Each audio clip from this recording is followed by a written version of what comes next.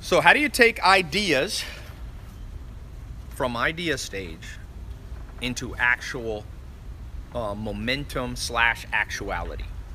Okay, momentum. So, I want you to be taking notes a little bit. One of the things I talk about millionaire mentor, I've got this millionaire. Oh, by the way, let me talk real quick to you guys watching live. You got till tomorrow at midnight. If you want to apply to be in my millionaire mentor test group, where I'll personally mentor you for the next 12 weeks in a small group test group that I've created, you got till tomorrow. TaiLopez.com slash apply. Okay. With that said, let's draw up here um, a brain with ideas, A brain. like a little light bulb.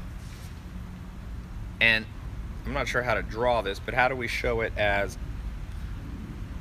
going from the mind to reality? Okay, I'll try. The mind to reality. I promise you, somebody here came up with an idea that somebody else did and became a millionaire while you were still bumbling over it in your head and making Excel spreadsheets to be sure and do the cost benefit analysis and the risk analysis. And oh, there's my pros and cons. And. And there's nothing wrong with doing a little analysis. Okay? There's nothing wrong with a little analysis.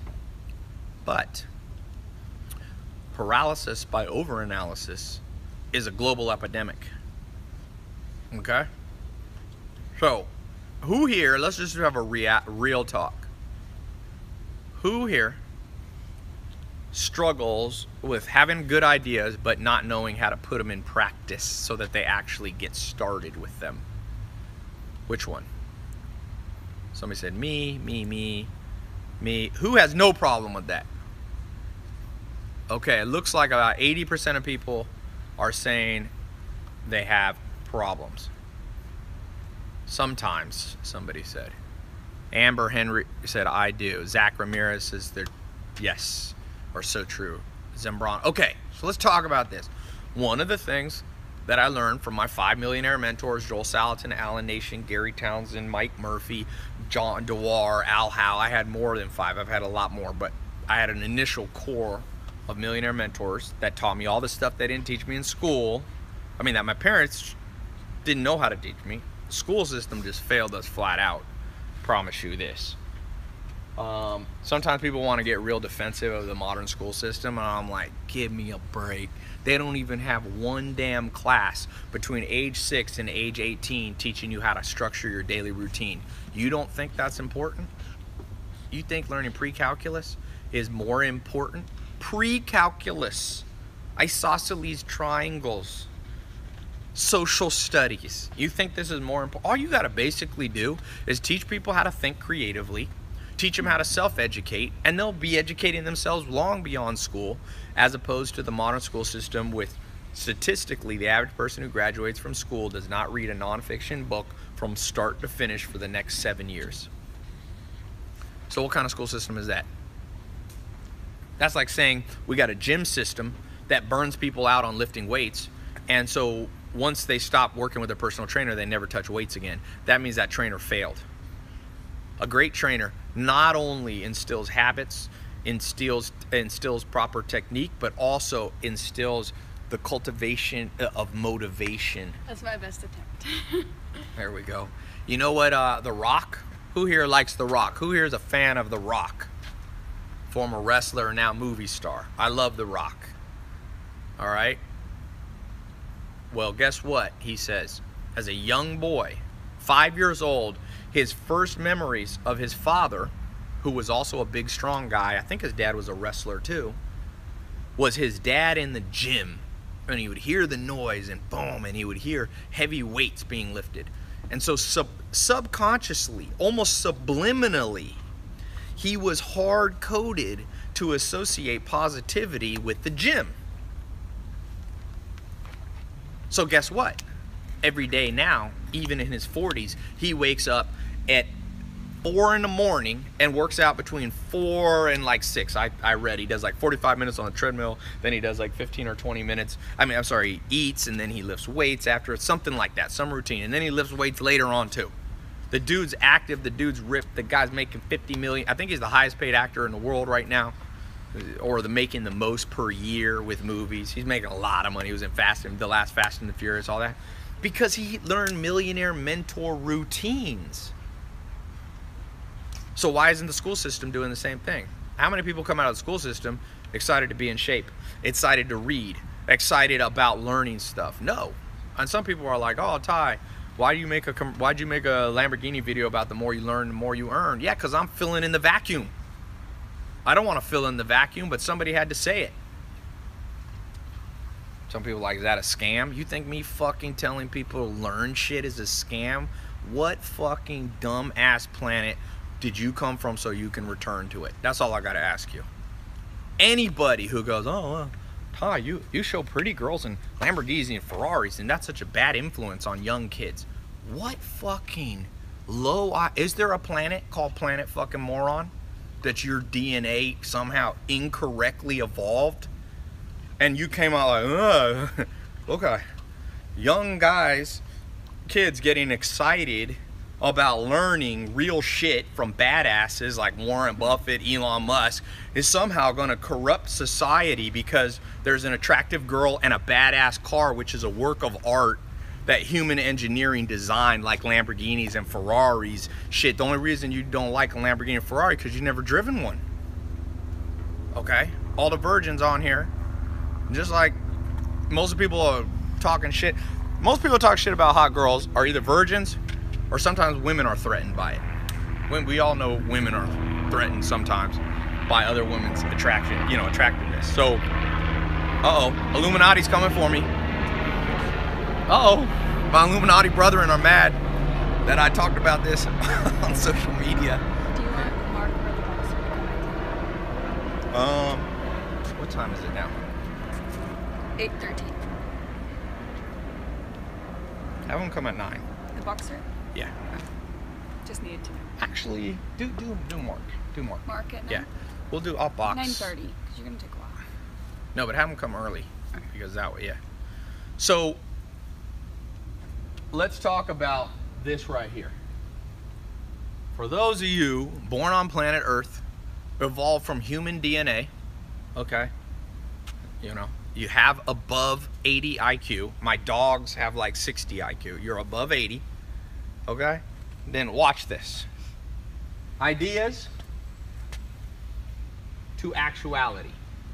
I don't know what is that. It's a, it's the like planet, like bringing it to the Oh, world. okay, she's bringing it to the like world. Bringing Okay. It to the world. All right, here we I go. Oh, wasn't Someone sure. said Kate has an IQ of 350. okay, let's go here. We go here to here. It's pretty good. It's a thought bubble. Yeah, that's not bad. hey, it's better than I could have done. I'm gonna, I'm gonna give her that. Okay, first step. Here's the first step. Write at this out. She writes them in reverse so you guys can see it. Here's the first step. This is a mental step, millionaire mindset. Okay, excitement. Oh, or put this. This is gonna be long. I don't know if you can write this. Ability to generate excitement beforehand. Ability. Just put excitement beforehand. I've already put ability. Okay. Ability. So I'm gonna ask people right now. Who is this? Brett. Brett, do you have the ability to generate excitement before something's happened? What do we have? Mehmed Ni- Nicey. Do you have that? Andre Dryagan. Ali Abasi. Uh, Kevin Pham. I'm just reading people off. On a 1 to 10, are you that person that only gets excited once it started, or you're able to go, wait a second, what if Bill Gates at age 12 years old started getting excited about personal computers, even though nobody in the world had them? They had big mainframe computers, they did not have personal computing. When, and this is like in the 1960s or early 70s. Steve Jobs was excited about personal computers even when the professors at Stanford and Berkeley, the supposed experts, told him that the global market demand for uh, personal computing was exactly one person. That's how stupid these professors were. They talk shit to Steve Jobs, who now we all know Apple is the largest company in history.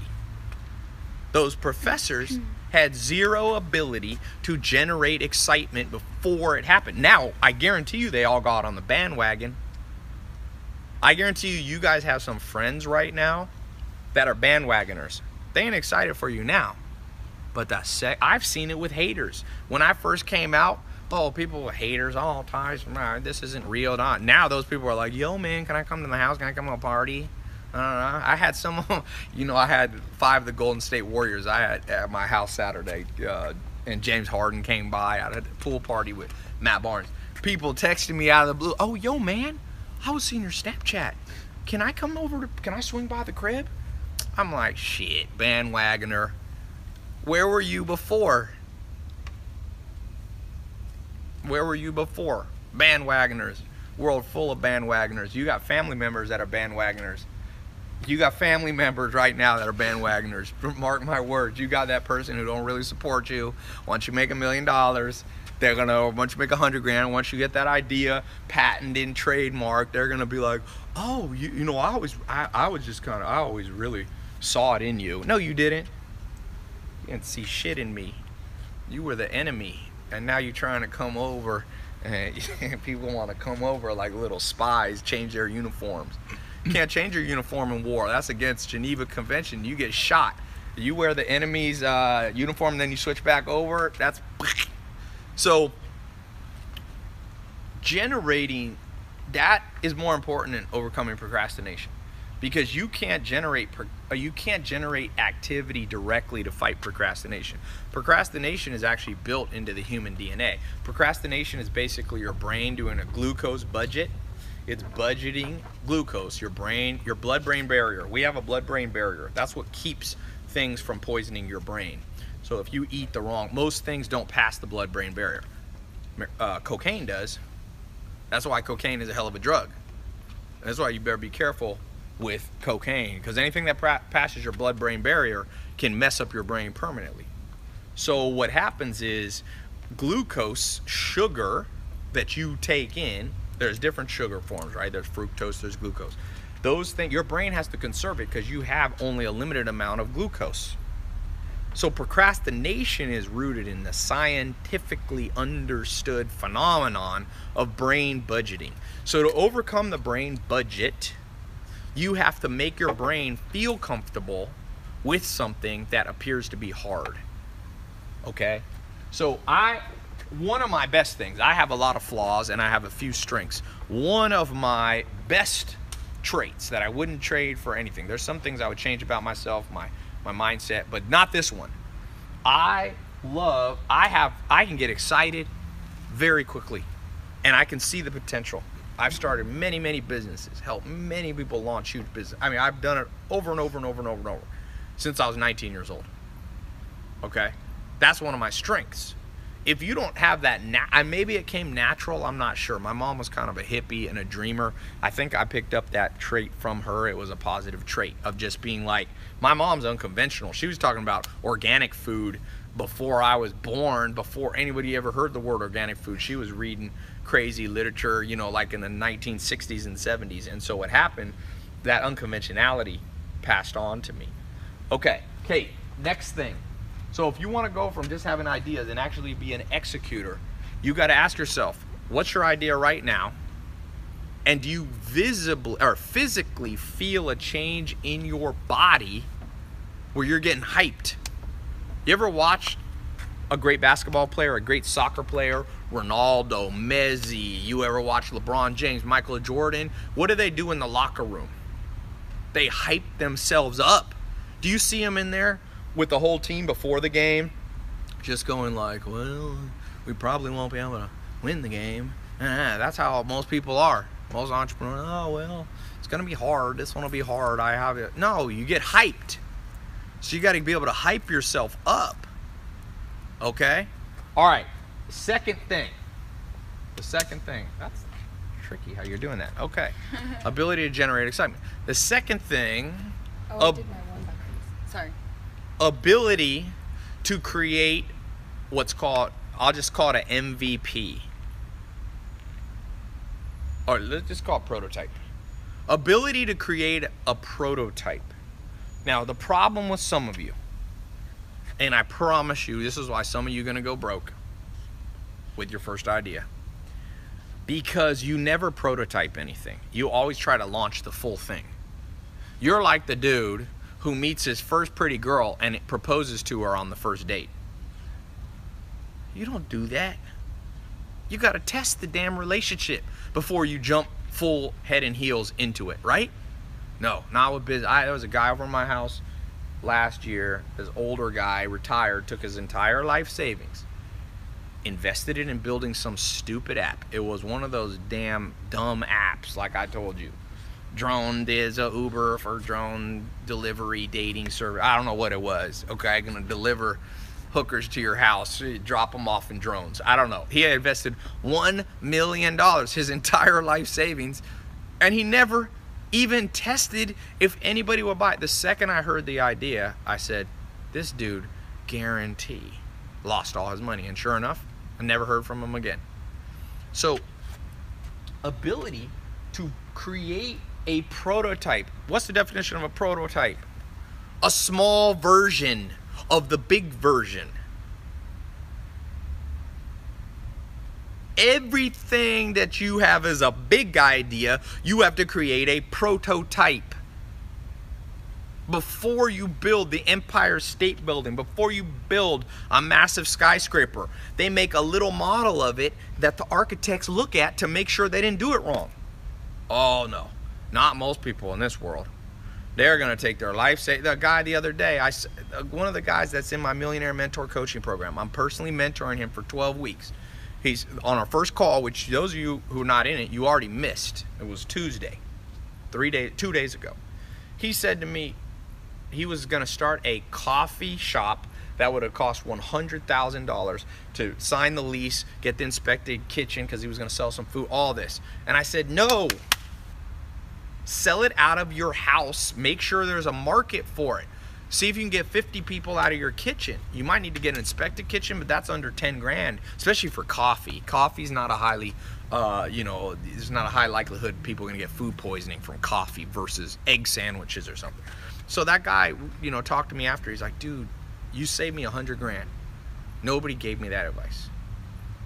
Do you have the ability to take your big idea that you're excited for and shrink it down to a teeny little working model.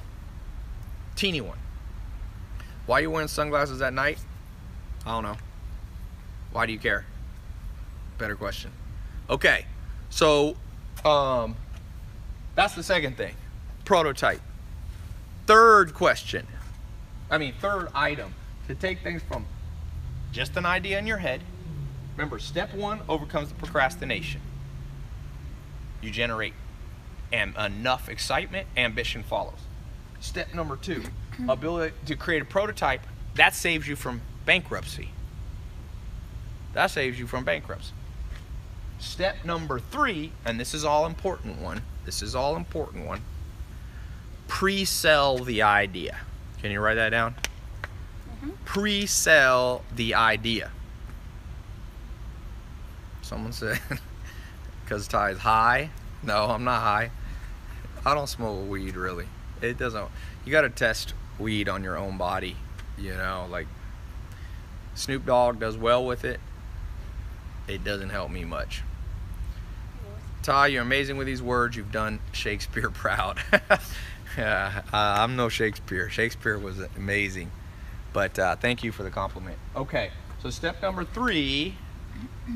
Uh, how did I tell you to write it? Um. We're gonna test Kate's IQ. Come no, on, I just asked you. I was like, wait, what'd you say? And then. Kate. I'm sorry. I'm getting distracted by all these comments. I'm just. what did I say? Who remembers?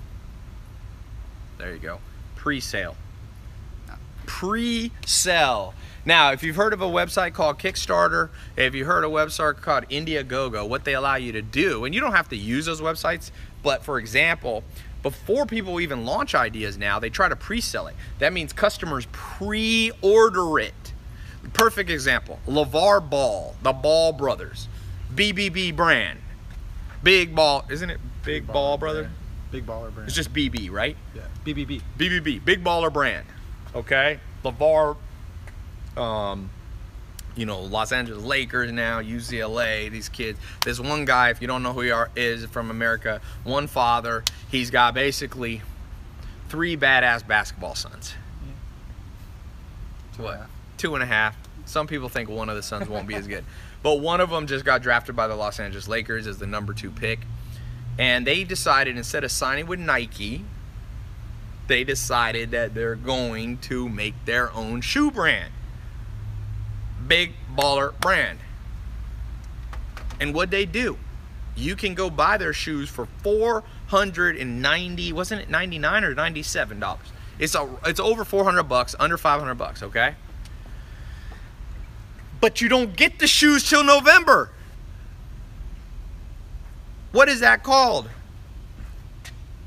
What's that word, Kate? Pre-sale. Pre-sale. Why are you guys not pre-selling? Somebody said that called a ripoff. It's not a ripoff.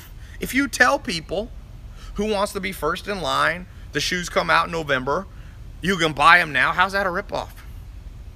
What do you mean dumb idea? The, the, the, the VAR ball, the ball guy ain't dumb. Four ninety five to six ninety. 495 to 695 and he came out with some new ones it's it literally doesn't come out till november he's not dumb. He's following the formula. He understands this is the damn illuminati. You want to know what the, I'm, I'm gonna call my millionaire mentor thing illuminati. It's a real illuminati. Now somebody said Tai he sold less than 10000 units. Okay. What's 10000 times 500 bucks? Or what's 10000 times 500 bucks? Who knows? Remember, I always know how to do math. Is it 500,000? No. 5 million. Okay. Did you make five million bucks this year? Selling shoes that don't exist yet? don't be laughing. Show me your numbers. People lie. People tell me they're smart. Show me your numbers. Five million, a hell of a lot smarter. He sold five million dollars worth of shoes that don't exist yet. How are you gonna call that a dumb man? Dumb like a fox. he's smarter than you. I guarantee you he's smarter than you. Whoever said that comment. Guarantee you. Now, whether it'll be better, more viable than him signing a larger contract with Nike, but you know what? The press, even if the damn shoot thing doesn't work, if the son does well at the Lakers, they're gonna come back around. Adidas, Nike, Puma, uh, Under Armour, uh, not Puma, but Adidas, Under Armour, or uh, Nike gonna come back around, sign him. He sold five million dollars there. They put out some shoes. Some people, you always got a story to tell. Okay, so please pre-sell. Pre-sell. If nobody buys, yeah, and it's sorry, five hundred dollars times how many shoes? Ten thousand. The guy said. Yeah, he said ten thousand. Oh yeah. Why did somebody say no? I don't know you're, if that's right, but that's what he said. Wait, yeah. if you sold right. ten thousand, this guy said no. That's Well, I don't know if he that's sold correct math. 10,000. I don't know if he sold ten. Yeah, but if you sold ten thousand for five hundred bucks. Yeah, bucks, it's 5 million. somebody said 2.5 million. Like a lot of shoes. Somebody's dumb. Somebody said, "Dang, hanging on Puma." No, I'm not hanging on Puma. Just ain't nobody wearing Pumas. And, and Brianna wears NBA Puma. Puma. Okay. Okay. How can you pre-sell water bottles? Everything can be pre-sold. Go to Kickstarter, go to Indiegogo, and start learning. Some of you ain't- are not learning enough. Okay. Now, let's go back to the apply page. By the way, because I'm gonna leave here soon, I'm gonna continue to give you some more good, powerful stuff. You want to do three? No, no, we're gonna do two. I'm gonna do two hours. How, how long have we been on? How long have we been on? 93 minutes. So hour and a half. So. Okay, so I'm gonna be here for about another 20, 30 minutes. Um, talking about execution. Oh, wait, the price. First. Yeah, the fly page, the first page. I just want to say this. I don't want to hard sell anybody I'll write it because right way, whether you go in or don't go in doesn't matter to me, Twitter but it can help you. TaiLopez.com slash apply. You have less than 20, uh, 48 hours, less than two days to get in my test group. Here's the deal. If you get in the test group, this is what I'm going to do for you. I'm going to personally mentor you for the next 12 weeks. My goal is to completely change your life, spe- spe- blah, blah, specifically around finances. Okay? So we're not going to be talking about, you know, Where I'm not gonna be psychoanalyzing your your rough childhood or some shit like that. We're talking about it's millionaire mentor program. It's a test group. And- said I read like a seventh grade. well, you try to write backwards. And no, I so read it the right way because they're comfortable. I've already started, so you're already late. You missed the first. Every Tuesday, I do a live call at 4 p.m. Uh, California time. 4 p.m. It's only for people. You get a special link if you're in the test group. It's private. You have to log in with a password. We have good technology. If people are selling the passwords, it'll lock them all out and all that stuff. So you get in. 12 weeks. I'm going to take you step by step each week. I'm going to teach you something every Tuesday live. You can ask me questions. And then I'm going to give you an assignment Wednesday, Thursday, Friday, and Monday to try to rewire your brain for success. Okay? I let the first the, the test group started last Friday. The people who got in already went to the first Tuesday. So let me I want to just congratulate people that are getting in now. tailopez.com slash apply everything's there when you go to tailopez.com slash apply how much it costs what you get who can be in it who can't be in it this is not a pre-sale by the way it's not a pre-sale because it's already launched so people are already in the program i have done pre-sales before but this isn't one of them okay let me pull up this is real-time report i get every time somebody gets into a test group here we go Ondir Andre Olnick. You can read that off. David Paris. Here's actually a picture of him. What's up, David? People sometimes send in a picture. He lives in California. All right, let's keep going. It's only 190. All right, Robbie Corarubia, uh, Nevada. Oh, first. All right, Yet, uh, no, that. Oh, that's a tough name. Can you say that?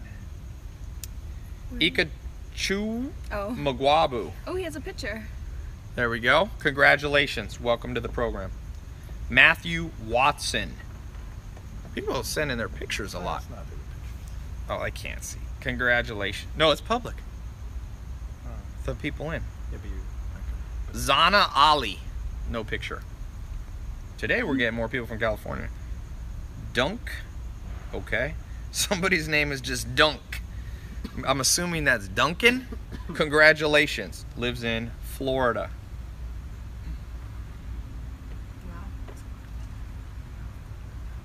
No, that's for a book. That's something else. Nathan Reinhardt, Arizona. Congratulations. All right, just name it off. I like to congratulate people who take action. Most people ain't action takers. Most people, you can't fix stupid. Never forget that. So some people in your life, you're trying to fix something that is unfixable. Okay. All right, let's draw. I want to take a few question and answers on this subject. I just gave you. Go back to where we were. tailopez.com slash apply. You got less than 48 hours to get in, and it'll, then it'll be closed. You'll go to the page. It will no longer work. Okay. It'll just you can put your email in, but it won't let you get in the test group. Okay.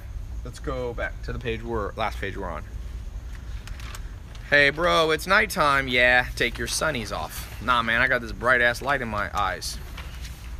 So, thank you for updating me that it was nighttime because for some reason I, I thought it was daytime till you helped me. You know, I struggle sometimes with understanding night versus day. Okay, question and answers. Tai's thoughts on drop shipping. Great business if you're willing to experiment enough to find the products that work. Two people that I trained in business in the last year, um, Samir and Jesus, uh, they were on my Snapchat. They're 21 and 22. It took them uh, eight months of experimenting, but now they're making over 200 grand a month. Okay, so gross. They're probably netting 50 grand a month. Tai, renting a house versus renting a con- condo. Um, in general, houses always beat condos. Always. Especially for investment. You want to lose money, invest in a condo in an area that, can be overbuilt. That's what happened to people in Vegas. That's what happened in Miami. People are jumping off buildings. Houses are harder to replicate, and in general, things that are hard to replicate hold value longer. So almost always, a single family home will beat a condo. There's there are times when that's not so. There's exceptions to the rule in certain place. Um, you know, like Manhattan, where they don't really have many homes. They got brownstones, they got condos, but for the most part, condos are a little trickier. And I've invested in condos, I've invested in houses. You know, it's there's money to be made, but I like homes better. And most smart investors will tell you that. Apartment complexes are good because then you have multiple units. Duplexes are better than even single homes and stuff. Okay, question. Um, thoughts on frozen food? You know, fro- I think that's a great business. I think food is a massive business. I'll tell you which one I think is a great one. Let's let's do a new page. I'll give you some ideas. I'm gonna give you guys some ideas, just here for free. My millionaire mentor mentors were all every day I was getting a new idea from Joel Salatin, from these people. So I'll just do that same thing for you. One of the things is snack healthy snack foods. Can you write that out? This is going to be a massive business. I'm talking beef jerky, turkey jerky, um, better tasting bars like Quest bars, vegeta- vegan type stuff because there's a certain set. You know, a big market. I read a fascinating article yesterday in Fortune. Things for diabetics. Diabetics have to buy very specific food, and not that many people are competing for them. But it's something like a 22 billion dollar market. I think I'm remembering that correctly. 22 billion dollar world to play in. That's a niche market, but it's big. Diabetic snacks. Why isn't anybody doing that? I tell you why. Because they're trying to make the next Uber app and this and that and. I'm like, come on, people. Do you have to make everything so hard for yourself? Okay. Number two, we got healthy snacks. Oh, you're writing it both ways? yeah, because it's backwards on this one and a different one. All right, so healthy snack foods is a great idea. Number two, okay, and I'll do one that's not food. Um, helping older people with technology. Now, that can be done in multiple ways. That can be done with consulting. That's why I've been teaching over 25,000 people how to get businesses to pay them one to 10 grand to do their social media because old people don't know how to do technology. They own restaurants, they own dentist offices, they're over 50 years old, over 60. They're never gonna learn Facebook, YouTube, Instagram, email opt ins. They're never gonna do it. So it's a huge market, huge market, in my opinion, of helping, helping older people with technology. It can be web services, design services, it can be installing security systems in their house, it can be anything that's too hard. Even Geek Squad. Best Buy has a whole company called Geek Squad. It's, you know, a huge business because people buy laptops from Best Buy, then they don't know how to turn them on. You can't imagine how my 99-year-old grandma she she can buy a laptop and not know how to turn it on. So there's money in the convenience of, and that's a great service business. Okay, put a number one and then a number two. I'm just gonna give you a handful of ideas here, but as I told you, sometimes it ain't the idea that's the problem. The problem is people too lazy, too frozen. You can't always be frozen in time. People get yeah prepped meals for diabetics amazing business. Prep meals for diabetics. People don't want to cook. Natural soap, somebody said. Yeah, that's okay business. It, it's somewhat saturated. It's a little trickier to start. It, it can. I don't like to discourage ideas because sometimes I miss them. So it, it's not one that's my number one. But if you're really into soap, I could see it working. You just there has it's a little bit tricky. I'm trying to give you good starter businesses. So if you're already making a million bucks a year, you know, you probably don't want to start a business, even a service business. If you're not make a million, million bucks a year is great. Up to a million bucks a year you can do from service business.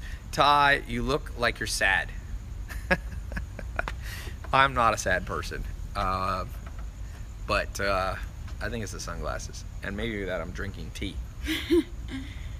You guys can read it. gardening service business that can be okay that's again a saturated market the thing i like about this the global helping older people with technology older business owners manage their twitter their instagram not many people are doing it yet and there's a huge market because in the United States alone, there's over 20 million uh, small businesses, small to medium-sized businesses, and globally there's over 50 million. So you got a huge total addressable market. You know what I'm saying? So, whereas if you just eh, there's ways to do it right and ways to do it wrong. Okay. Sneaker cleaning business, yes, but not how many. Okay, let's talk about something real quick. Here's a good point. How to recognize a good idea versus a bad idea. Here's a, in general, if you ask your 10 friends if they've ever paid for that and they all say no, then it's not a great idea, in my opinion. So, for example, sneaker cleaning business, where you go around and clean people's sneakers. Okay, if you ask your 10 closest friends and acquaintances, how much money did you spend this year on dudes who came to your house and cleaned your sneakers? You're gonna get a big fat zero. Okay? You're going to get a big fat zero. So if you ask people how much money did you spend on people making you food, it the average person eats out five times a week.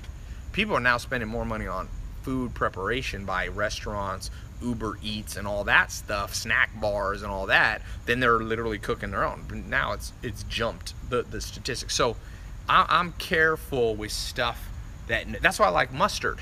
If you ask your friends, your 10 closest friends, did anybody buy food that had mustard in it? You're gonna get half half your friends. Oops, Instagram stopped. Reconnecting. So, um, tire for a car. Everyone needs tires. Yeah, but what's your? That's a tricky business to get into because tires. You have to. The first tire is expensive. So, yeah. Tom, a professional MMA fighter. What about an MMA fitness gym business? Yes, you you got UFC gyms. You got fight gyms. Um, you really want to go in it with the mentality of scalability, replication of what you're doing. If you're going to go in and make one one business, one location, you're probably going to struggle. I got to reset Instagram.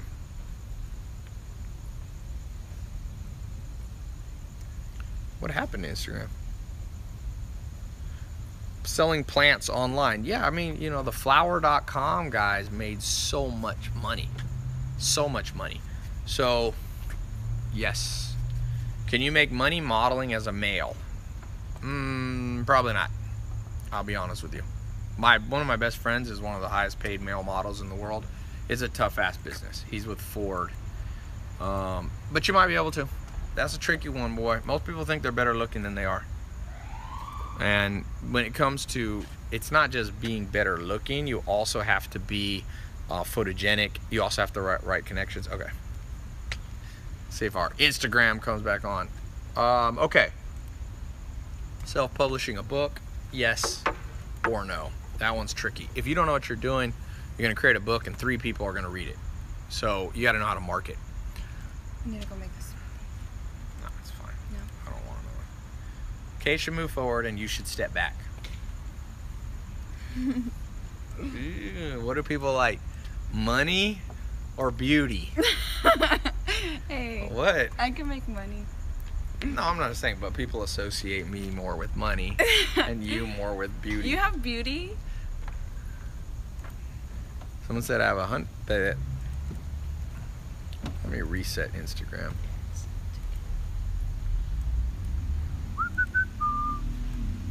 Why does it say no internet connection? We're struck. Instagram is being annoying. Are you guys having any? Huh? Reset the app, just uh, cancel it out. and Yeah. Can you do it real quick? Yes, sir. All right, I got. I can do it actually. Let's see. You think that'll do it? Um, one try. It's still saying Or no. try to turn what? off- What's the other um Turn off the Wi-Fi. internet we got here? The guest one? Sam? Yeah, we got Rexford private and Rexford yes. Yeah, we should switch to the private. The um. Yes. Yeah, let's see. Boom. Wi-Fi on. Here, take this phone. See if you can connect it to the other one. I don't know why it's on this Instagram. Why's my head smaller? I love funny videos. Some of you should make those Instagrams where you put a lot of funny videos make get crazy engagement. All right, here we go. I'm going on the Rexford private. Let's see if that's better.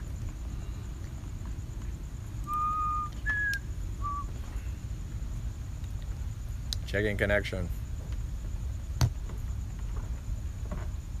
Do we have what's the other this KS internet? Oh, there we go.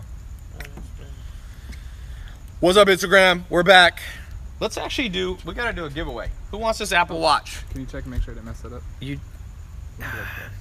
What? Don't do it that way. That's not a good way to do it. Okay. Who wants this?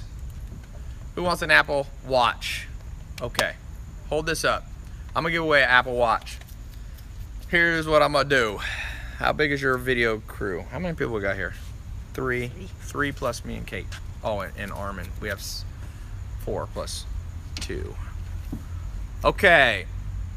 Let's do this. Apple Watch. I'm gonna ask you guys a question. Who first person to answer this wins his Apple Watch. Business trivia question, but everybody, it's not too hard of a question. Okay. It says pause. Man, Instagram, Instagram's tearing the fuck up. Okay, here's the question. Who's the only man alive to have started three companies simultaneously worth a billion dollars? The only man alive for this Apple Watch. Let's see. There. Rashad. Oh, fucker. I lost you. All right. This is the first one that I here. This person. Um, This wasn't necessarily the first person. It was the first person I could capture. So if I didn't capture you, sorry. Mm. But this person, D Massey underscore 24, Elon Musk. oh, that guy said. I know. Well, if you look, if anybody cries about this, don't cry. It's got to be. I know you might have said it first, but I didn't see it. There's four phones here. I don't have four eyes. I guess I do have four eyes. I got these two. Ooh, that's bright. You need sunglasses too. All right, I'll be doing. I'll do one more giveaway before we end here. How much time we got left? Until two hours. Let's talk about something important. I want to talk about Google Trends for a second. If you're not checking Google Trends, you're missing out. It's a free part of Google where they basically tell you what's the most trending topics in the world. Why do you want to check Google Trends? Easy. To be ahead of the curve is the one of the ingredients to making money. Like period. If you are, some people are coming up with ideas that were done 30 years ago and they can't figure out why they're broke. Okay. You know the interesting thing? What subject do you think is always, almost always, the most Googled thing in the United States? What subject? Guess. Mm, Kate, what do you think? Just pick anything. I don't know. Pick something. I don't know. I'm shy. Kate's not that shy. Somebody said John D. Rockefeller. Yes, that is the most Googled thing on average. Porn. No, I, they actually don't track porn. Porn probably is. Sports. Chris Paul. Well, he was one. So PGA Championship and Green Bay Packers. What do you think is one of the number two most thi- uh, most Googled things in the world? This will help your marketing too, understanding trends. Awesome. Taylor Swift's in number two. So basically, this is how the world, this is how the United States thinks. Number four is Kylie Jenner because it's her birthday. Number five is the Chicago Bear. So number one is PGA golf. Number two is Taylor Swift. Number three is football. Green Bay Packers. Number four is Kylie Jenner's birthday. Number five is Chicago Bears. Number six is PGA golf again. Number seven is Zach Randolph, NBA basketball. Uh, number eight is music. Joe Budden is expecting a child with models. Cyn Santana. Number nine is Patriots. Number ten is Minnesota Vikings. So the first ten things are only what? Entertainment. Uh-huh. Now here's my message to you. Okay? Here's my message to you. You got to learn from that. You got to learn from it. What I learn is that if you want to be good at marketing, you have to have an ed, you have to have an entertainment element. A lot of people are like, "Hey, Tai, aren't you a businessman? How come you have other stuff in? How come you have you, you know, partying at your house? How come you have, you know, going and Playboy Mansion or pre-" because entertainment is important. Why do you think that entertainment? There's a little question here. Who can understand the science? Why are humans more enthralled by entertainment than serious subjects that can actually help their life? Who knows why? Scientifically, not just an opinion, you know? Who knows? To get their mind off their own troubles. Okay, that's a somewhat good answer. Because someone says it's inherent entertainment. That's a bad answer. I said, why do people like entertainment? And he said, because it's entertainment. This is not a planet Earth answer. Okay. Because they have nothing to do. Because people are unaware. Distractions, dopamine. Okay, I like the dopamine answer. Somebody said endorphins, uh, endorphins, dopamine. Here's the thing with dopamine. There's a part of your brain that releases feel good hormones. There's different ones. There's um, a big one, or one of the bigger ones, is dopamine. You also have things like, you know, no, cortisol is negative. Cortisol is a stress hormone.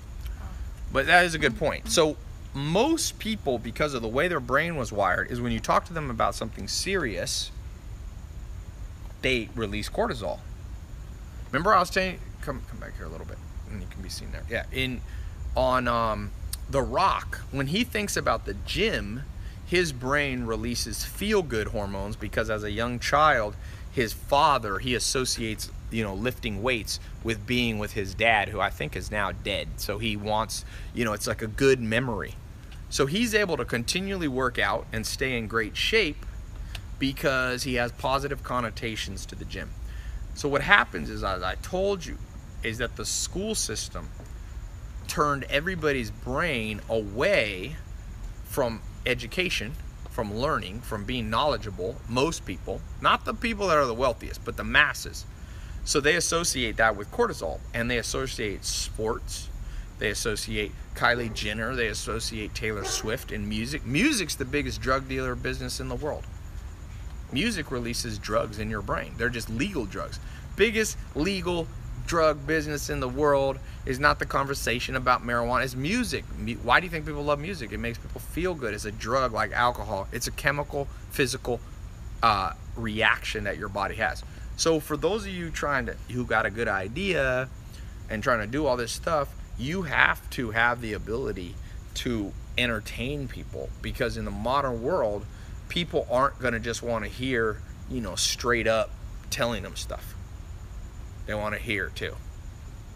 Tai, my girlfriend is a sixth grade teacher and hates when I bash the school system. Well, there's a lot of good teachers stuck in a bad system. School system hasn't changed much. Literally, think of this. If you went to a classroom in the 1800s, it would almost be the same. Actually, let's draw this. This is an interesting thing new page. I'm gonna draw, put a split down the screen. I'm gonna draw what schools look like in the 1800s. Let's see what's similar and what's changed. Now, have hospital changed since the 1800s? Uh, yes. In the 1800s, they didn't know you should wash your hands. They didn't have sinks and they didn't have soap. So put 1800s on that side. But let's talk about education system.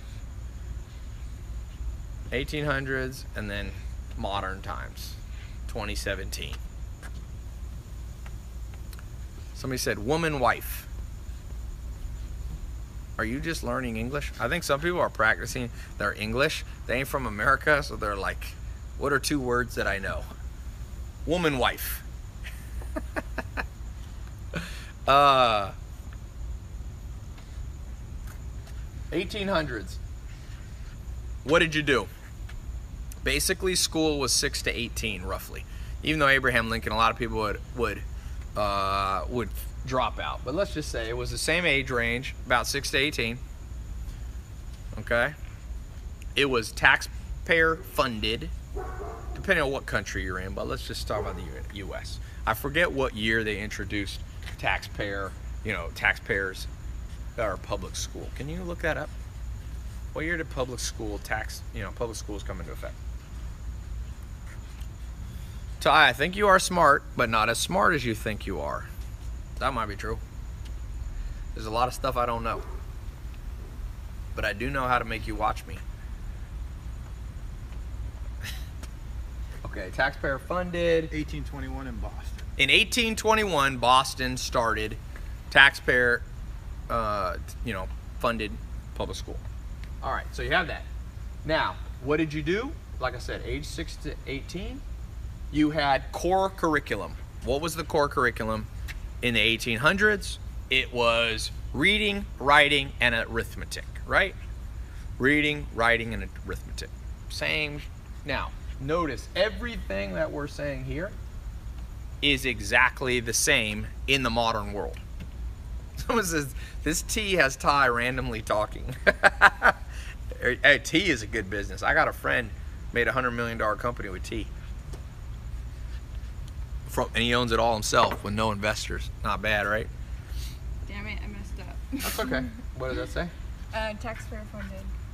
Okay, then the next one is reading, writing, and arithmetic. That hasn't changed. But the world's changed. The world's changed beyond belief. The world's unrecognizable. 1821, when public schools started in Boston, what the world look like? Well, 1821, Germany wasn't a country, Italy wasn't a country. Uh, the United States didn't have all the states. There was no Hawaii, there was no Alaska, there was no California. Uh, black people were all slaves, or in the South were not all, but slavery was full force. Uh, women couldn't vote at all. The U.S. Constitution considered black people and women not full humans. That's what the 1800s. Let's just be real. Uh, yeah. So Civil War hadn't been fought. The South was basically separate from the North. What else was different in the 1800s? They didn't know about germ theory. There was no penicillin. No penicillin. So if you got pneumonia, you were gonna die. Basically, what it come down to, you were gonna die. Pneumonia, death. Doctors would go from uh, working with dead corpses, not wash their hands, walk over and deliver babies. There was no sewage system in almost every city. So basically, people would dump their pee out of the window into the street. So the whole world stunk bad.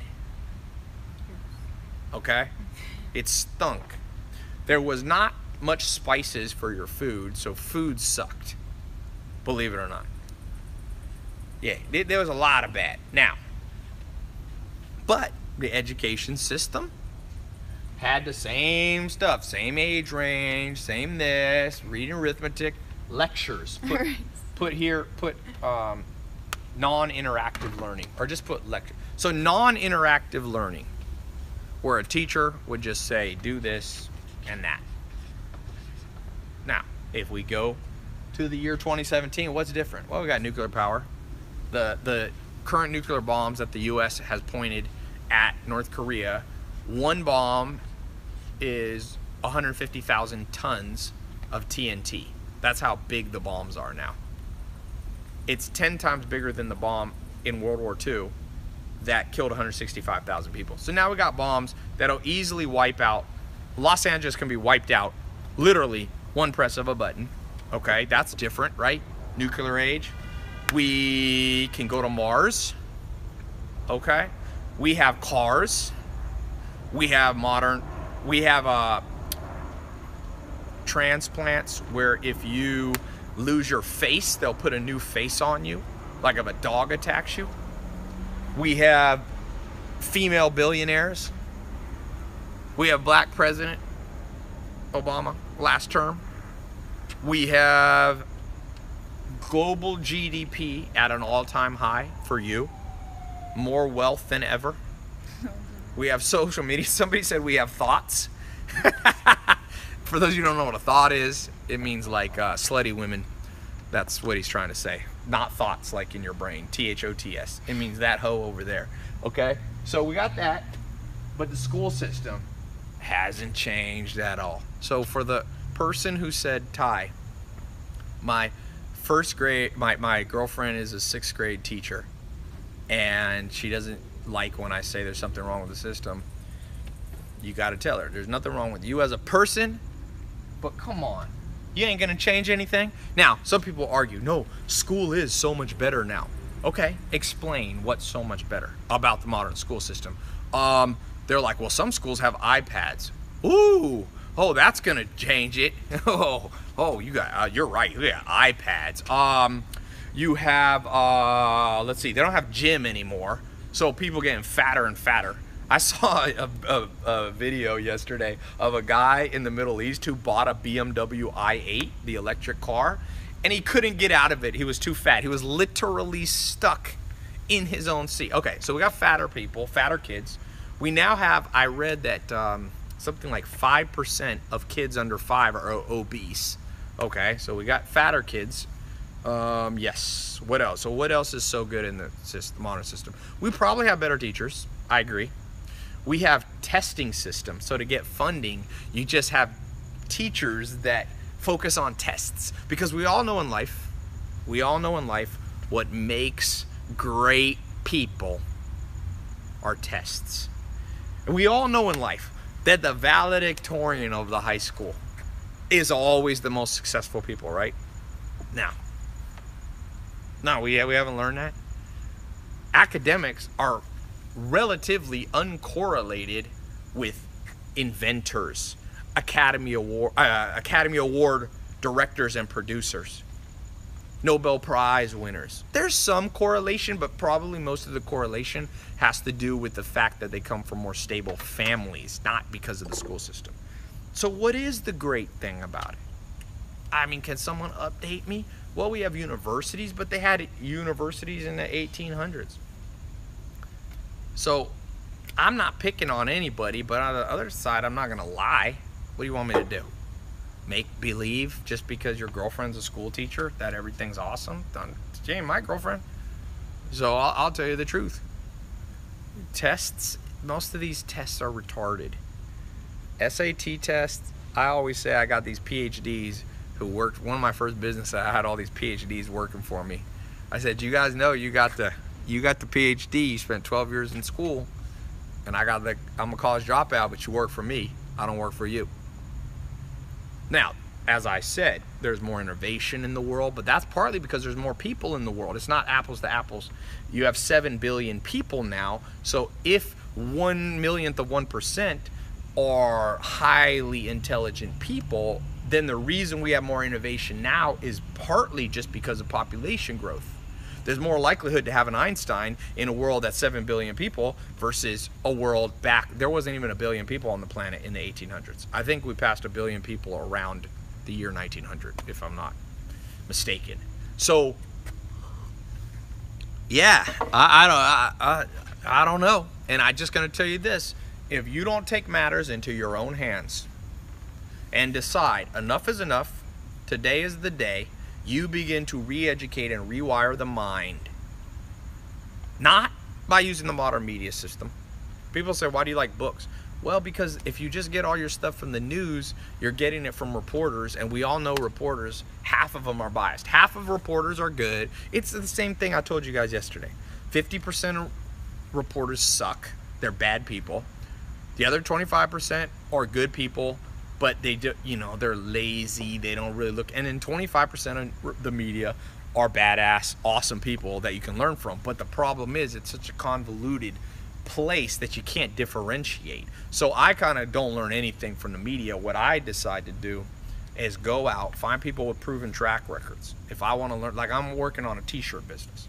I've had it for a while, but I want to grow it now.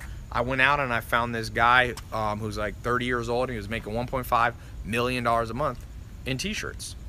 So I go, I'm gonna self-educate my brain there. I didn't go to community college for that. There's no community college class on that. I mean, you can go to FIDM here, but I can learn that in one month.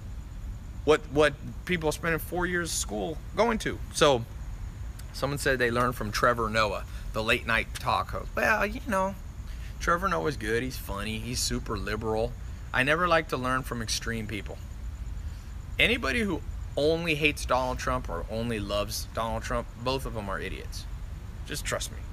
If you're out there and you have and you think Donald Trump, you have only hate or only love, you're an idiot. Do you think Donald Trump is a perfect person or an absolute idiot? I mean, give me a break. He's smart enough to become president, and he's probably full of flaws like every damn politician in the last 500 years. Name a great politician. Name any of them. Calvin Coolidge in the early 1900s was taking bribes in the White House.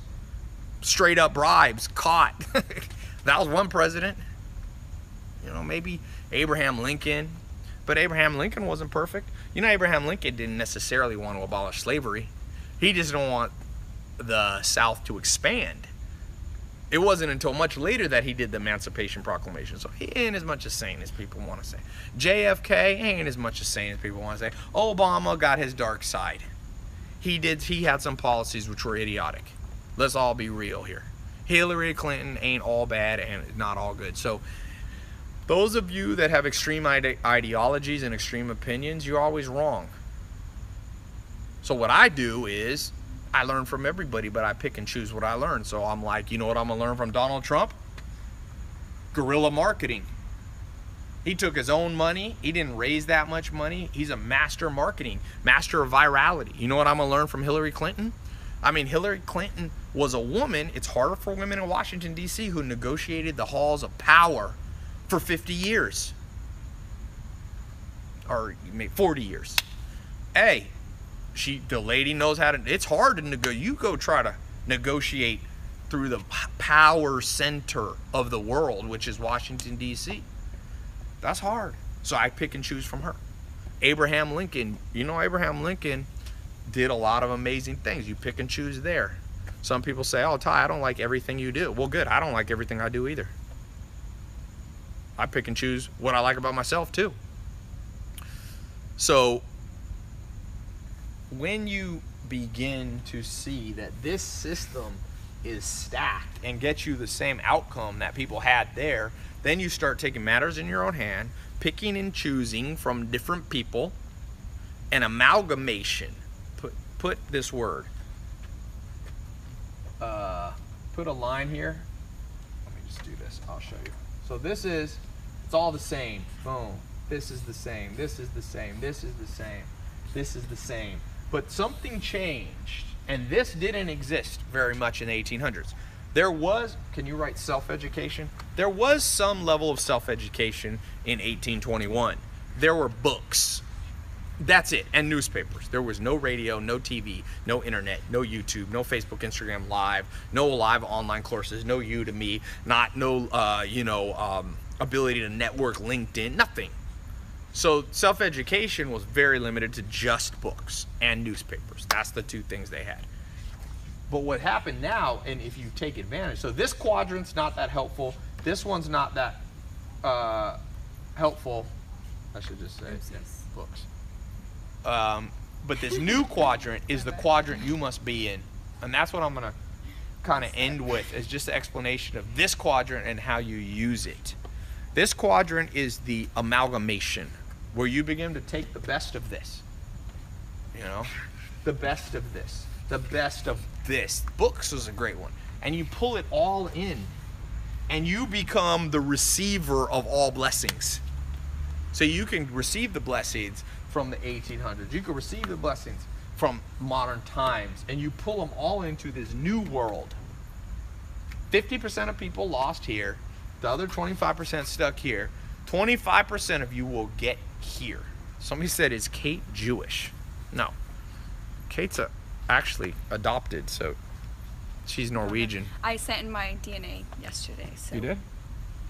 Yeah, Oh. so we'll find out. 23 in and me. Six to eight weeks. She's probably English, Scandinavian. You look, you're probably French too. No. So this quadrant here, what are the elements? Number one, right, mentors. Mentors are the shortcut. And by the way, mentors actually existed. That was the best of the 1800s. They had something called apprenticeships. People used to become an apprentice. so I became an apprentice at age 19 to Joel Salatin for about almost two years, a little under two years. And then I, I continued that model uh, with a guy named Mike Steinbach in finance and work with G Capital and stuff like that. And that became um, a stepping stone, a massive one. So mentors put here, apprentice. Tai, does your mom watch these live videos? Hmm, probably once in a while. Someone says you look Italian. That's because Kate has so much self tanner on right now. she ain't Italian. She's a whitey. She got. I'm not that one. Yes, you have freckles. The second you have freckles, you are white. I don't have freckles. Even though I, I am 60% white, I don't know what happened. I look more like my dad. Um, Leo the Lioness said, I'd love to debate with you guys. You talking about me or the other people on here? So, apprenticeships, mentorships, internships, put internships is another good one. Get your feet wet, learning from somebody else. So much better to start your own business. Mentorships, internships, apprenticeships.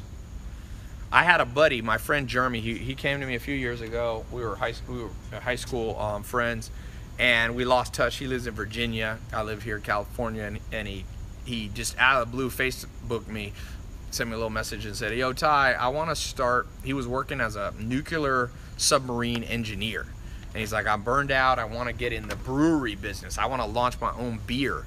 And what should I do? Because he had a wife and kids. He goes, "I can't just quit my job." I said, "Dude."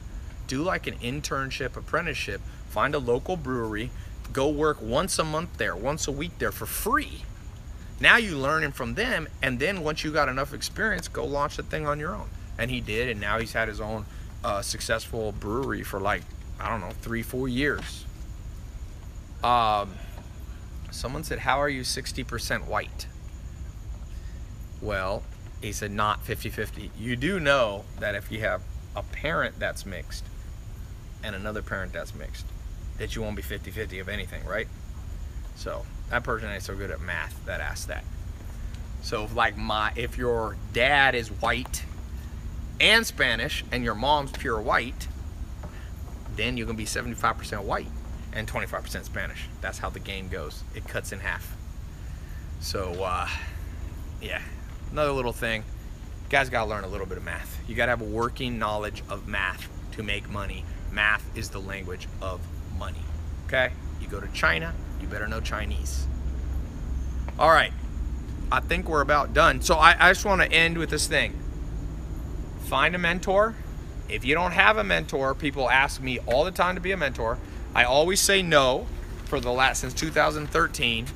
I've had some special consulting that I do, but I in general I don't do personal mentoring. I decided last Friday I was going to do it and I created a test group.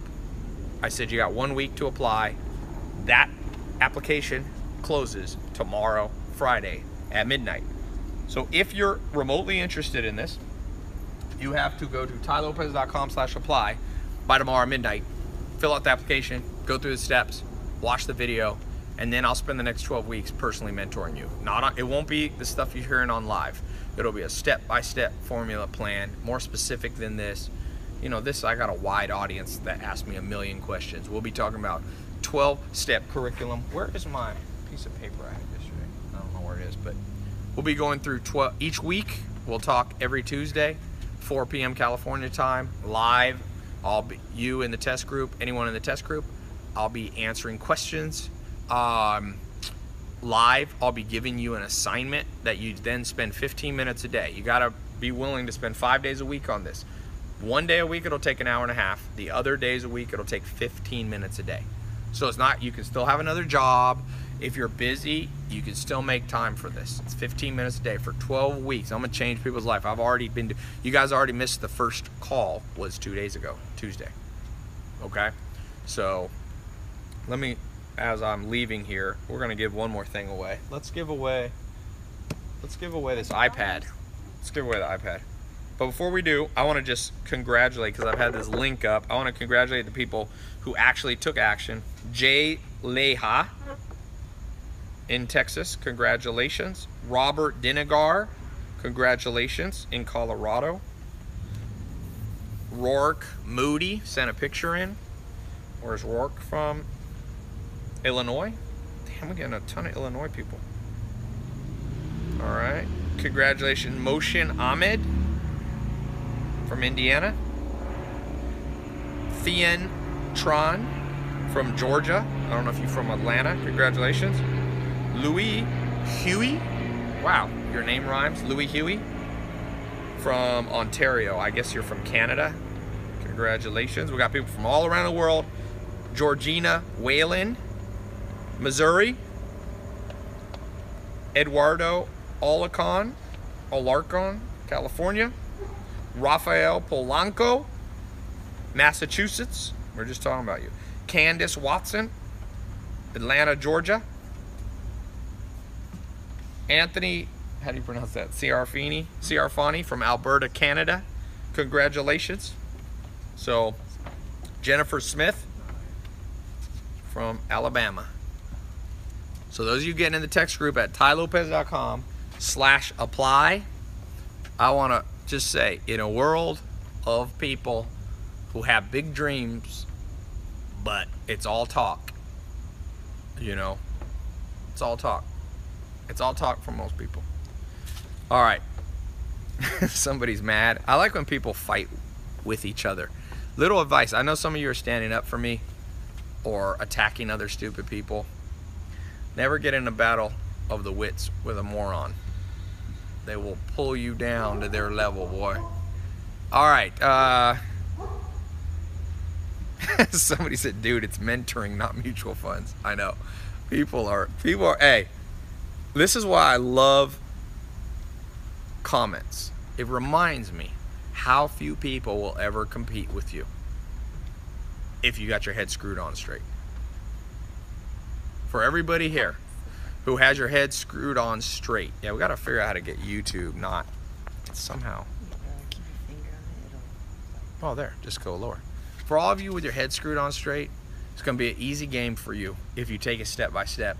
You don't go too fast. You don't jump and leap because most of your competitors are going to be what?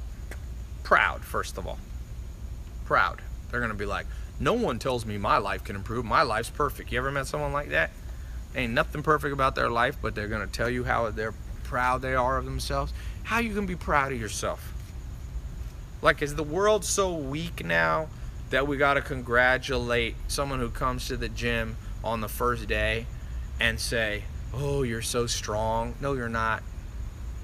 No, you're not. Finish the damn. Finish the damn boot camp that you go to at the gym. For all of you who sign up to the damn gym on January 1st, the average person by the time it's uh, January 31st is no longer going to the gym. For the love of God, go to the gym if you sign up for it. Don't be that person. Really.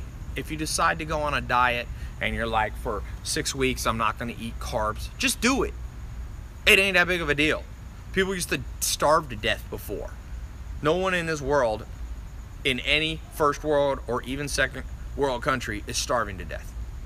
No. Best thing, one of my trainers said, best thing most people could do would be starve themselves at least once a year to trim off all the fat. It's okay. You ain't gonna die. I mean, you could ask a doctor how to do it.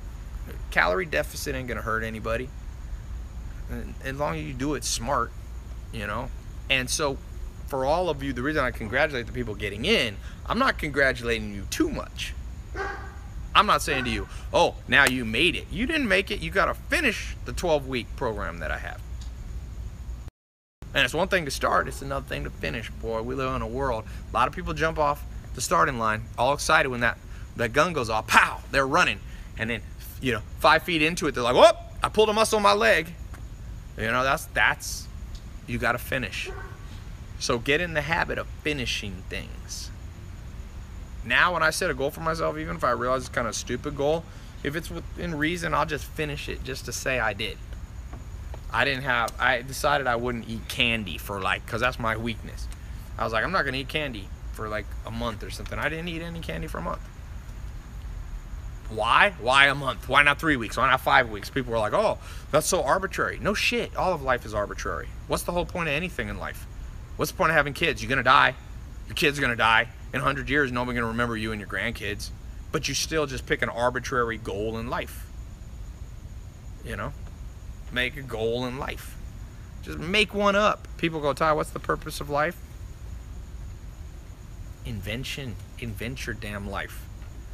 There is no real purpose in life. You can be nihilistic. You can be all. Some people think they're so smart because they're like, oh, they- think they saw the Matrix one time, so they think they're some massive philosopher on oh nihilistic. Oh, nothing matters. nah, nah, nah, nah." No shit.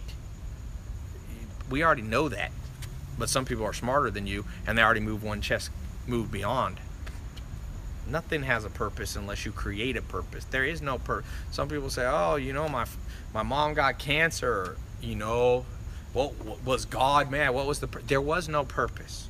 Cancer is another organism that wanted to survive, and it, you know, can't actually cancer. That's not what cancer. is. Cancer is basically overgrowth. Something went wrong in the DNA. Something happened something replicated and kept replicating too fast. There's no purpose like that. It's not like God or uh, you know you did something wrong and you get cancer. So what you do, you just invent a purpose for your cancer. Some people write a book about it. Some people rate. George Karl is a friend of mine. He was a basketball coach for the Denver Nuggets, and uh, you know he created a charity.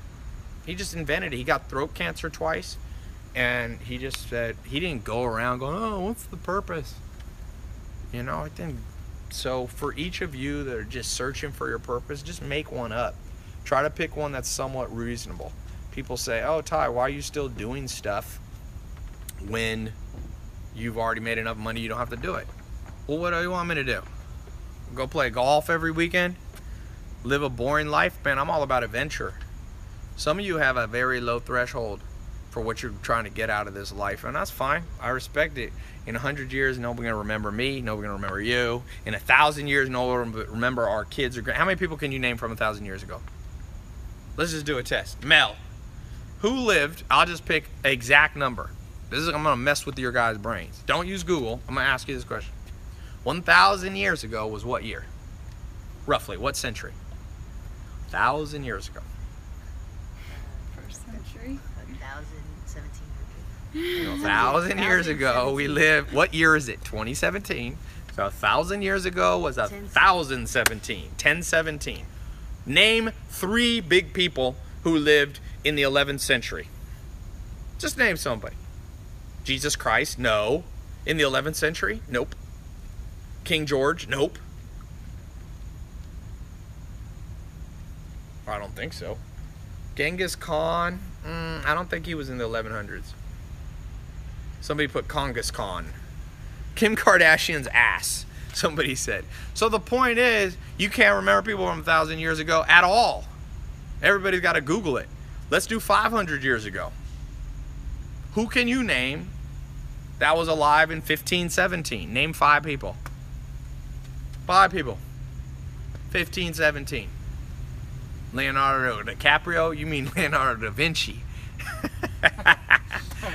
this is hey, you you a product of the LA school system, aren't you? This dude said Leonardo DiCaprio. Famous Chinese monks. You can't just make up a bullshit general answer to try to get famous people. That's not a good answer. Christopher Columbia? Uh, is, is he related to Christopher Columbus? Christopher Columbia? Let's see. Somebody said the peanut butter inventor. No, you're talking about um, what was the guy who invented peanut butter? George Washington Carver. Carver. That wasn't in the 1500s. Somebody said the guy from Rome. Somebody said Constantinople. That's a city. So that's very interesting. Uh, Abraham Lincoln, Thomas Edison. Nope. People cannot do this. Some people are joking, but the funny thing is half these people are serious. Somebody said Shakespeare. Yeah, I think Shakespeare was theorized. No one even knows if Shakespeare was a real person. But um, yes, Shakespeare. Some Cortez was Cortez in the 1500s. Van Gogh. Van Gogh wasn't the 1500s. I think Van Gogh was the 1800s. Someone said the Napoleon. Lil Pump, Logan Paul, somebody's. Yeah, he looks good for his age if he was born in the 1500s. Alexander the Great, nope. Alexander the Great was before the 1500s. I think. I'm pretty sure. Yeah. Uh, somebody said, help a homie out. I'd like to have that t-shirt, Tai. What brand is this, Kate? I could teletransport it through Instagram Good Live. life. It's Good Life brand. Socrates, nope. King Tut, nope.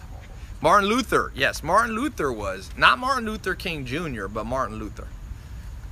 Somebody said, England is my city. Prince? You mean Machiavelli? Floyd Mayweather? All right, I'm going to head out. This is funny. I like to end with a little, you know, uh, lighthearted. Uh... Oh, yeah, let's give away this iPad. All right, let's go.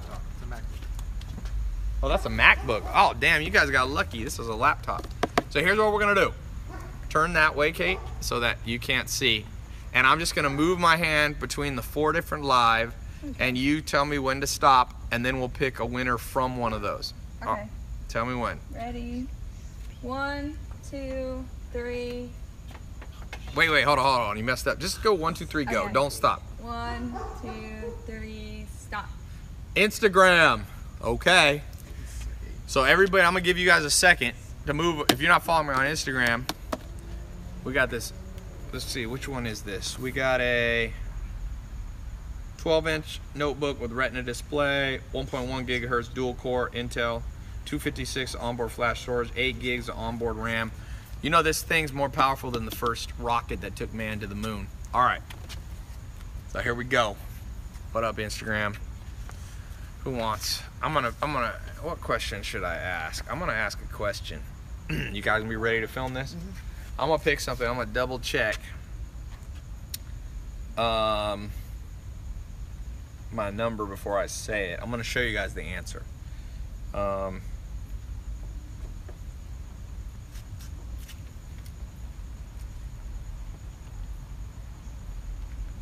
I'm gonna do. I'm gonna. This gonna be gonna be a little tricky. Somebody gonna get it. Okay, let's see. Everyone's like, ask her. What were they saying? Just so Don't say anything, Kate. Thank you.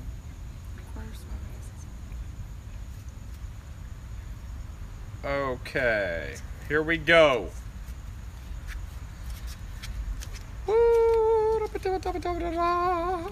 Okay, this is what I'm. Okay, I'm gonna test. For this, hold this, hold this up right here. You get exactly two different answers can win. Can you look here with me? So it's gonna be either that or that. Okay. Name a famous figure from the from the 1400s who was a writer or a famous king who lived in the 1400s. So it's that or that. I'm watching Instagram. Dun, dun, dun, dun. And sorry, this is from the 1300s. I put the wrong 14th century. My bad. The 14th century, which was the 1300s. A famous writer from the 1300s. So that's not Shakespeare. Or a famous king. There you go. D Bread in 13. Congratulations. He said Chaucer. So, for those of you who uh, on top of your game, you ever heard of Canterbury Tales? Did Chaucer do? Um, King Arthur wasn't Chaucer, was it? That I do not know. I should know that. And then it was King Henry the Fourth. I would have also done. So, for those of you, some of you are gonna be badass. Let me read as I'm closing here. You got until tomorrow, Friday, if you want me to personally mentor you for the next 12 weeks in my small test group. You got to get in the test group. It closes exactly tomorrow, Friday, midnight. You won't be able to apply to get in. Who, who's getting in right now? Who's getting in right now? Rourke Moody. Oh no, Rourke. This was. Oops, I forgot to scroll up. Carol Lee Sing Lau. Congratulations, Carol. Welcome. Next 12 weeks, my goal is to change your life. Ding Ding. Interesting name. Okay. Kate Rothaker. Congrat. Oh no, she's in the 67 steps. Wrong product. I get an alert every time someone gets into one of my, and I got different programs. But Chris De La Cruz. Congratulations, Connecticut. Stephen Macias. Congratu. Oh no, that's for my social media one. My bad. Dennis Juanf. Outside of the U.S., we somehow couldn't track your IP address, so not that we track you, but we try to figure out what country you're from. We don't track you at your house. Heather Hamilton, congratulations. There's a picture of her. Looks like with her boyfriend. Heather, congrats. She lives in Maine. I've been there once. All right. Kevin Rios. That's the wrong program. Melanie Payne. Congratulations. Jay Leha. Leha from Texas. Let's see who's getting in right now. I'm going to refresh till we get some. Oh, here. Ryan Jorgensen. Congrat. Looks like you're from. There we go. There's Ryan. Looks like he's about 25. I already said Carol Lee. Let's see who's going to be the next one in. Any last questions for me? Last question. Bring in the pain. How much cash is on that table? What do you think about flipping card? Oh, by the way, this is not real cash. I ain't using real cash. You start flashing real cash, you're gonna get murdered. So, for anybody thinking of trying to rob me, uh, I'll give you this cash. It's worth about five dollars. This is prop cash. For all you people, don't be damn putting real cash all over your house. Shit, I'm not stupid. you put your money in a bank, man, or put it in a vault. Put it somewhere. Your house burns down. You got this much cash. You know, you can be a sad ass person. But yeah, so there you go. But I got that much cash, just not in my house. Got more than that. That's only a hundred grand. Come on, people. I showed you business that I got making a hundred grand in an hour before. Way more. They want to auction for a grocery trip to go hang out with Kate. Nah, I'm not gonna do that. Why would I do that? Oh, oh, let me keep checking. See who next person in. Here we go. Ryan Buczynski. There he is. I'm not sure he got a pick from Pennsylvania. Ryan's in. I'm gonna stay on here till one more person gets in. It's awesome. Ryan Jorgensen and Ryan Buczynski both got in in the last two minutes. Who else getting in the test group? Kate for charity. uh, I want to get in. TaiLopez.com slash apply. Someone wants to hang out with Big Rome. Tai, how can you mentor so many people personally? I'm not mentoring every person. You know, we got 100,000 people watching this. That's why I created a small test group. I know how to do a small test group. It's better to actually be in a test group. I'm not going to fly out to where you are personally, but I'm going to personally mentor you in the sense that it's a live call. We do every Tuesday for 12 weeks. I'm there. You got a question. I answer almost everybody's questions unless somebody's asking. Sometimes people ask 38 questions. I tell everybody get one question a week. I'll answer it personally on your personal situation on that live call. But the goal is not to ask me questions. Let me train you on what other people train me. That's what you want. Uh, thank you so much for all that you do. Tai, you got a great heart. Play some salsa on the piano. I don't know. Salsa music is hard to play, man. All right. Who else is in? Ulysses Montano. Oh, no, that's my 67 steps program. Sorry. I told you I already got different programs. Um, what's the success rate of your groups? You know, uh, do, I'll put it this way it's hard to know because we I do online programs. So there's people that you never talk to again. They buy the programs, they download them, they listen to them on their own. But we get so many testimonials, okay, that I have people that's their full-time job in my office cuz I used to just like at first I was like I wonder if I'll be able to help a lot of people and then so many people start writing in. I was like, oh, I'll collect it myself. And then it got too big. And so uh, it's insane how many. Um, I mean, when you need to hire a full time person, that's pretty much full time what they do to just manage the people with success stories, flying people in. So, you like I said, I wish I could reach every person who ever bought an online program and downloaded. The 67 Steps has 150,000 people went through it. The best thing I can tell you is that refund rates, because I give, you know, college doesn't give you a refund. I got refund rates that are like 25% of what normal refund rates are for similar products for other companies. So that's the best way. People vote with their dollar, man. They vote with their dollar. So in the sense that if you launch a business and that business is getting an above average refund rate, you know you have a problem either in the product, in the delivery. You could be your marketing could be misleading people into thinking they're getting something they're not. So you got to walk that fine line of understanding that there's a time um, that that you must balance all those elements. You know. Is there what's my take on religion? Oh, here we go. Mitchell Casquella. Congratulations, Michigan. Welcome to the group. Been following me since January 4th, and now you got it's interesting. There's a long life cycle for all of you building businesses. Uh, the question was what I think of religion. Well,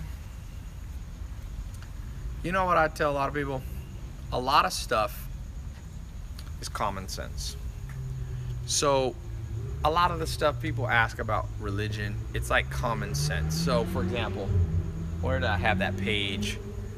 A lot of people's beliefs hasn't changed from the 1800s, even though we know the world's different. My friend's dad was a NASA scientist, and he said throughout history, people have always called God, blamed God for anything they don't understand. So, like when the bubonic plague happened in, uh, I think it was the 1200s and 1300s, people said God was mad. They didn't understand that it was an infection from rats, and that the, as boats were sailing around the world, the rats lived on the boats, and they would come out and they would bite. The fleas would jump on the on the the rats, bite them, and then the fleas would jump on people because it wasn't sanitary. Now we know. Now when you see some a, a, kid die of bubonic, they don't really have the plague. I, I think it's very rare. But when you see somebody with a disease, whether it's bubonic plague or this, no one nowadays that has their head screwed on goes, "Oh, this is the devil or this is God." I mean, even if you're religious watching this, you don't think that when kids die, that it's because God was mad at their family or something, right? They used to think that. Um, so I think there's a, I think what you got to do with religion is you got to look at the parts that make sense. And we know a lot of religion, even if you believe in Jesus or Muhammad, there's a lot of man made stuff. And some of that stuff doesn't apply anymore, you know? And not everybody might not like me saying that, but come on, man.